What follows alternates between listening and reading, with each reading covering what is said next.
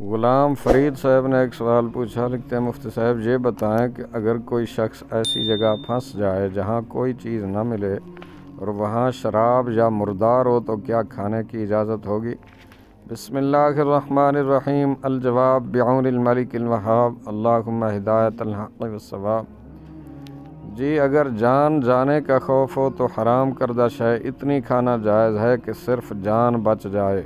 बल्कि फ़र्ज़ है, जैसा कि कुरान पाक में है, इन्नमा हर्रम अलैकुमुलमैतत वद्दम वलहमल वमा उहिल्ल बिही लिगैरिल्ला फ़मनिद तुर्रा गैर बागियों वला फ़ला इस्म अलैह। गफूर रहीम।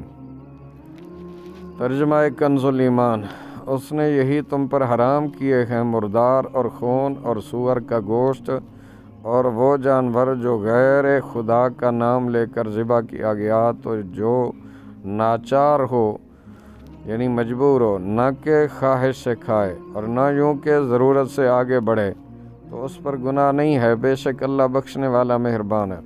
इसके तहत तफसीर सिरातुलजनान में है मुस्तर यानी मजबूर, जिसे हराम चीज़ें खाना हलाल है।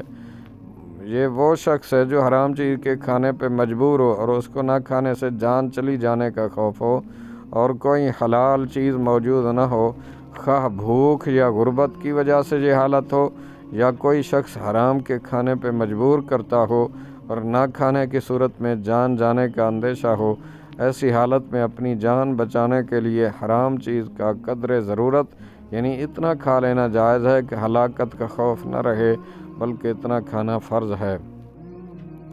तफसर सरातुलजनान सूरतुलबकरा आयत नंबर एक सौ तिहत्तर। वल्लाहु आलम अज़्ज़ा वजल व रसूल आलम, सल्लल्लाहु ताला अलैहि वसल्लम।